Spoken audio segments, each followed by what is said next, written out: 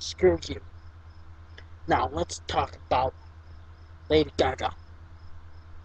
You fans out there all know me.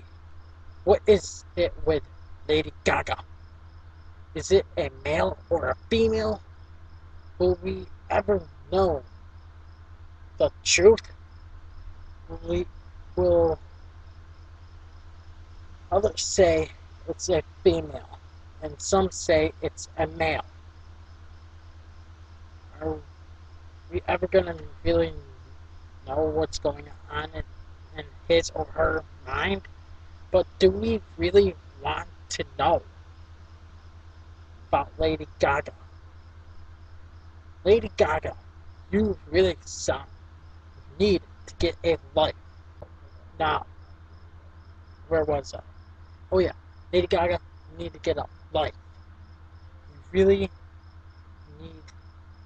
to what you sound like like you really look like you really need one because you look desperate. You need to get one because you look desperate enough. And do us all a favor. Will you quit your singing, you dumb bitch? You're just, you're just like Justin Bieber. Hmm. Oh yeah, that's right.